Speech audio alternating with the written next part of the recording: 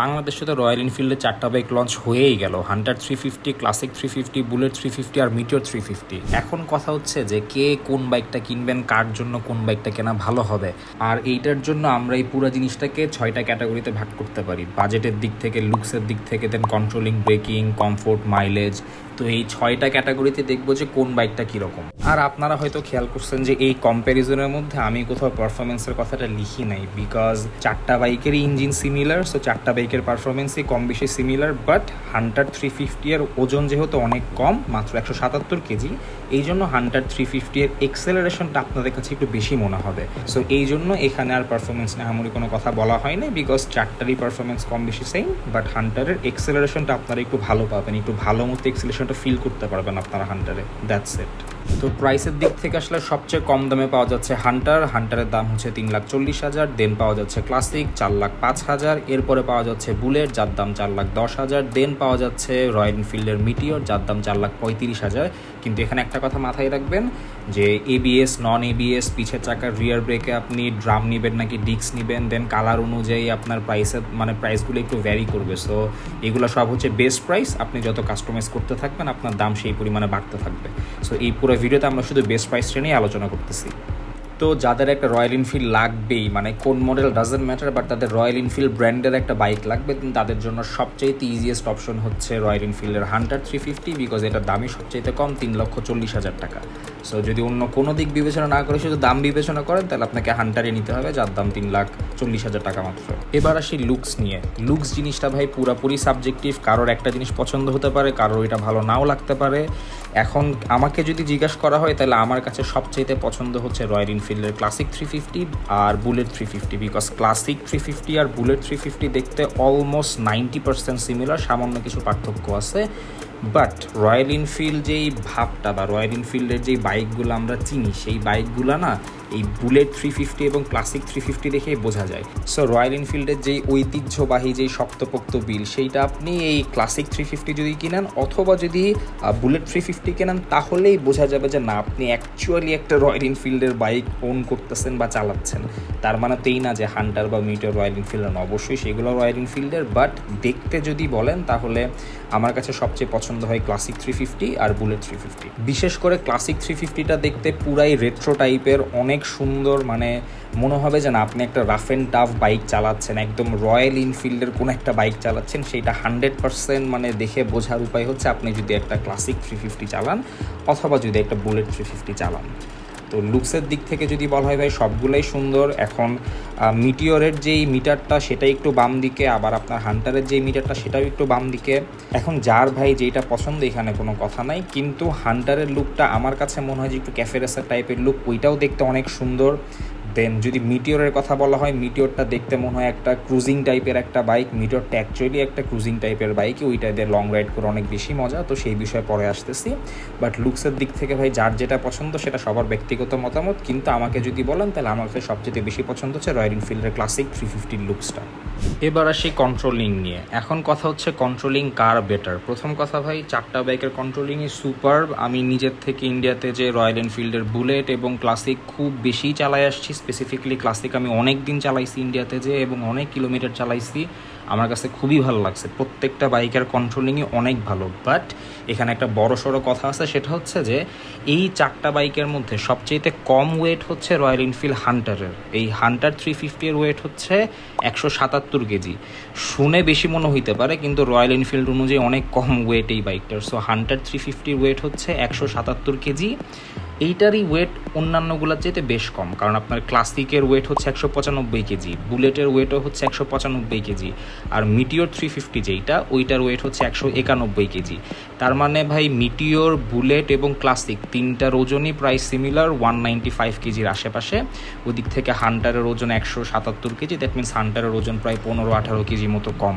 এই জন্য আপনি যখন বাইকটা ঘুরাবেন বা ইউটার্ন নিবেন বা নর্মালি সিটির মধ্যে চালাবেন, তখন আপনার কাছে মনে হবে যে হান্টার থ্রি ফিফটিটা চালায়ে বেশি আরাম লাগবে। আরাম বলতে আর কি বেশি ইজি লাগবে আপনার কাছে চালাতে বিকজ এর ওয়েটটা কম। সেটা খুব ইজিলি আপনি ম্যানুভার করতে পারবেন, খুব ইজিলি আপনি ঘুরাইতে পারবেন, জ্যামের ভেতর দিয়ে খুব সুন্দর মতো চালায় বের হয়ে যেতে পারবেন। এবং সবচেয়ে বড় কথা বাইকগুলোকে যখন আপনি ইউটার নেবেন বা বাইক যদি একটু হেলেও যায়, তখন আপনার কাছে হান্টারে খুব একটা বেশি ওজন মনে হবে না, যেটা আপনার কাছে ক্লাসিক বা বুলেটে মনে হতে পারে। সো আমি যখন ক্লাসিক চালাচ্ছিলাম আনফর্চুনেটলি বাইকটা একটু কাত হয়ে গেছিল, তখন এই বিশাল ওজনের বাইকটাকে আমার ধরে রাখতে বেশ ভালোই বেগ হইতে হয়েছিল তো এদিক থেকে বলা যায় যে আপনি খুব সহজেই হান্টার থ্রি ফিফটিটাকে কন্ট্রোল করতে পারবেন। কিন্তু একটা কথা মাথায় রাখবেন ভাই, চারটা বাইকের কন্ট্রোলিংয়ে খুবই ভালো জাস্ট আপনাকে একটু ইউজ টু হইতে হবে বাইকগুলোর সাথে। বাইকগুলো আপনি দুই, তিন দিন বা এক সপ্তাহ চালালে প্রত্যেকটা বাইকে আপনার হাতে খুব সুন্দর মতো সেট হয়ে যাবে। তখন আপনি কন্ট্রোলিং নিয়ে কোনো বাইক নেই খুব একটা বিপদে পড়বেন না। আর এই দিক থেকে মিটিওর থ্রি ফিফটিটা একটু আলাদা বিকজ মিটিওরের সিটিং পজিশনটাও একটু অন্যরকম, অনেক বেশি আরামদায়ক। এটা বেসিক্যালি ট্যুরের জন্যই বানানো সো খুব আপনি ইজিলি লং ট্যুরে যেতে পারবেন বা খুব সুন্দর মতো ক্রুজ করতে পারবেন কোনো সমস্যা ছাড়াই। সো কন্ট্রোলিং সবগুলোরই ভালো, কিন্তু হান্টারের সুবিধা হয়েছে একটাই, সেটা হচ্ছে আপনি হান্টারটাকে একটু ইজিলি ম্যানোভার করাতে পারবেন। এবার আসি ব্রেকিংয়ের দিকে। প্রত্যেকটা বাইকেরই সামনে আপনারা ডিস্ক ব্রেক পেয়ে যাবেন, সবগুলাই তিনশো এম এর ডিস্ক ব্রেক সামনে, খুবই সুন্দর ব্রেকের বাইক এগুলার। আর দাম অনুযায়ী ভাই আপনার পিছের ব্রেকটা চেঞ্জ হবে, কারণ এই যে বেস্ট প্রাইসগুলো আছে এইগুলার পিছের ব্রেক হচ্ছে বেসিক্যালি আপনার ড্রাম ব্রেক তো আপনি পিছে যদি ডিস্ক ব্রেক করতে চান, আপনাকে আরও প্রাইস অ্যাড করতে হবে। কিন্তু ওভারঅল যদি ব্রেকিংয়ের কথা বলেন, তাহলে প্রত্যেকটা বাইকের ব্রেকিংই খুবই সুন্দর। কিন্তু এখানে আবারও হান্টার একটু হইলেও আগাই থাকবে বিকজ হান্টারের ওয়েটটা কম। সো এই জন্য হান্টারকে থামাতে আপনার একটু কম কষ্ট করা লাগবে। যদিও প্রত্যেকটা বাইকের ব্রেক আবারও বলি ভাই, খুবই খুবই সুন্দর। আমি যেহেতু ক্লাসিক এবং বুলেট অনেক চালাই আসছি, আমার কাছে এদের সবার ব্রেকই ভালো লাগছে। আমি যে বাইকগুলো চালাইছিলাম, তার পিছে ডিস্কো ছিল, আবার ড্রামও ছিল। সো রয়্যাল এনফিল্ডের ড্রাম ব্রেক কিন্তু খারাপ না, অনেক সুন্দর ড্রাম ব্রেক আর এখানে আমার কিছু ইন্ডিয়ার ভাই ব্রাদার একটা কথাই বলা, সেটা হচ্ছে যে মিটিওর থ্রি ফিফটি এর রিয়ার ব্রেকটা তাদের কাছে একটু ভালো লাগে। এটা হতে পারে বাইকের ডাইমেনশনের জন্য, অথবা হতে পারে বাইকের যেই কনস্ট্রাকশন টাইপ বা বাইকের যে সিটিং পজিশন এগুলোর জন্য হতে পারে অথবা ওয়েট ব্যালেন্সিংয়ের জন্য হতে পারে, কিন্তু উনিশ বিশ সবগুলোর ব্রেকই খুবই সুন্দর। এখানে কোনো কমপ্লেন করার মতো তেমন কিছু নাই। আর এই যে বেস্ট প্রাইসের কথা বললাম, এই বেস্ট প্রাইসে কিন্তু আপনারা এবিএস পাবেন না। তো আপনাদেরকে যদি ফ্রন্টে যদি এবিএস নিতে চান, তাহলে আপনাদেরকে আরও কিছু এক্সট্রা টাকা অ্যাড করে দেন এই বেসটা নিতে হবে। এবং এখন এই টাইমে এসে এই বেসটা নেওয়াটাই আসলে উচিত বিকজ এত টাকা দিয়ে বাইক যখন কিনতেছেনি আর একটু টাকা দিয়ে আপনার সামনে এই বেসটা করে নেওয়াই বেটার তখন ব্রেকিং নিয়ে আসলে কোনো কমপ্লেন রাখারই আর কোনো জায়গা থাকবে না। এখন আসে একটা বড় সড়ো বিষয়, সেটা হচ্ছে কমফোর্ট কোন বাইকে সবচেয়ে বেশি। প্রথম কথা মিটিওর থ্রি ফিফটিতে কমফোর্ট সবচেয়ে বেশি পাবেন আপনারা বিকজ এই বাইকটার যেই সিটটা এই সিটটা অনেকটা সেমি বাকেট টাইপের মতো একটা সিট যে আপনি বসলে খুব সুন্দর মতো এটা সেটা বসে যাবেন এই বাইকটার মধ্যে। এই জন্য এই বাইকটাতে বসে খুবই আরাম। আর এই বাইকের যে হ্যান্ডেল বারের পজিশন সেটাও অনেক বেশি আরামদায়ক বাকি বাইকগুলোর চাইতে বিকজ এই বাইকটা অ্যাকচুয়ালি ট্যুরের জন্যই তৈরি করা লং ট্রিপের জন্য এই বাইকটা সবচাইতে বেটার এরপরে ক্লাসিক আর বুলেট এই দুইটা বাইকের কমফোর্ট লেভেল একদমই সিমিলার সো এই দুইটার মধ্যে আসলে কোনটা ভালো, কোনটা খারাপ এরকম কোনো কথা না। দুইটার কমফোর্ট লেভেল একদম সিমিলার অ্যান্ড আপনারা যদি চান সিটের কিন্তু কাস্টমাইজেশন করতে পারেন। চাইলে আপনারা ক্লাসিক অথবা বুলেটের সিটও চেঞ্জ করতে পারেন। সেই অপশন আপনাদেরকে দেওয়া আছে।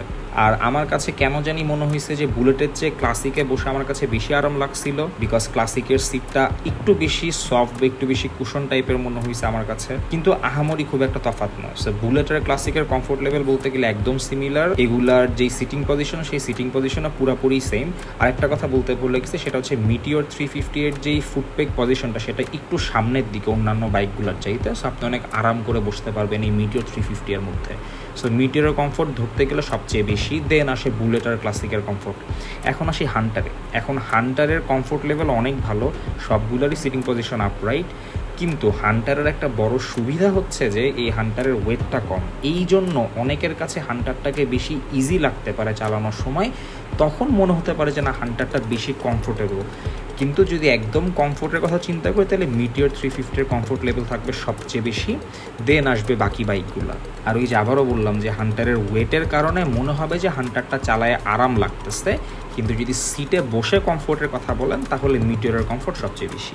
দেন আসি সবচেয়ে গুরুত্বপূর্ণ বিষয় আমাদের জন্য, যেটা সেটা হচ্ছে মাইলেজ মাইলেজ কোন বাইকটার কীরকম? এখানেও খুব সিম্পল একটা কথা ভাই, চারটা বাইকের ইঞ্জিনই একদমই সিমিলার জাস্ট উনিশ বিশ সো প্রত্যেকটার ইঞ্জিন টাইপ সেম ইঞ্জিনের সিসি অলমোস্ট সিমিলার তিনশো ছেচল্লিশ সিসিরই চারটা বাইক একটু এদিক ওদিক হতে পারে।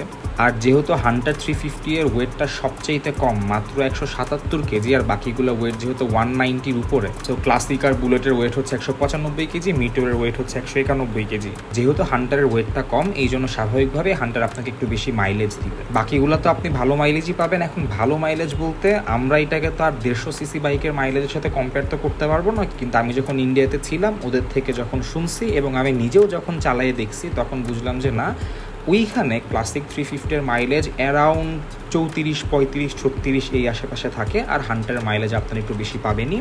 হয়তো বা চল্লিশ পাবেন না বাট ওর আশেপাশেই পাবেন। আটত্রিশ সাঁত্রিশ এই লেভেলে মাইলেজ পেতে পারেন আপনারা যদি একটু ভালো মতো চালান। আর যদি বেশি রেভিং করেন, যদি বেশি স্পিডে চালান, যদি বেশি এক্সেলারেট করেন, তখন দেখা যাবে যে ভাই প্রত্যেকটারই মাইলেজ একটু একটু হইলেও ড্রপ করবে। কিন্তু অন এভারেজে হান্টারের মাইলেজ বাকি তিনটে বাইকের চেয়ে আপনারা অ্যাটলিস্ট তিন, চার কিলোমিটার পার লিটার হইলেও বেশি পাবেন। সো অন এভারেজ ধরা যায় প্রত্যেকটা বাইকের মাইলেজ আপনার তিরিশ থেকে পঁয়ত্রিশের মধ্যেই থাকবে। যদি আপনি সাবধানে চালান, এখন এটা ভাই আমাদের দেশের তেলের কোয়ালিটির উপর ডিপেন্ড করবে, আপনার রাইডিং স্টাইল কীরকম তার উপর ডিপেন্ড করবে, আপনার ওয়েট কীরকম তার উপর ডিপেন্ড করবে সো অনেকগুলো ফ্যাক্টর আছে। বাট অন এভারেজে প্রত্যেকটা বাইকে আপনার আপনাকে তিরিশ থেকে পঁয়ত্রিশ কিলোমিটার পার লিটারের আশেপাশে মাইলেজ দিবে, আর হান্টার আপনাকে বাকি তিনটার চেয়ে দুই, তিন, চার, পাঁচ কিলোমিটার হলেও বেশি দিবে। সো এই ছিল বেসিক্যালি রয়্যাল এনফিল্ডের চারটা বাইকের কম্প্যারিজন আপনারা যদি এই ভিডিওটা দেখেন পুরোপুরি, তাহলে আশা করি আপনাদের ডিসিশন নিতে একটু হলেও সহজ হবে যে কোন বাইকটা আপনারা কিনবেন বা কোন বাইকটা আপনাদের জন্য। তো যদি ভিডিওটা ভালো লেগে থাকে then please give a like and if you wanna say anything যদি কোনো প্রশ্ন থাকে then please comment down below এরকম আরও একটা ভিডিওতে দেখা হবে ইনশাল্লাহ টিল দেন সবাই ভালো থাকেন। আল্লাহ হাফেজ।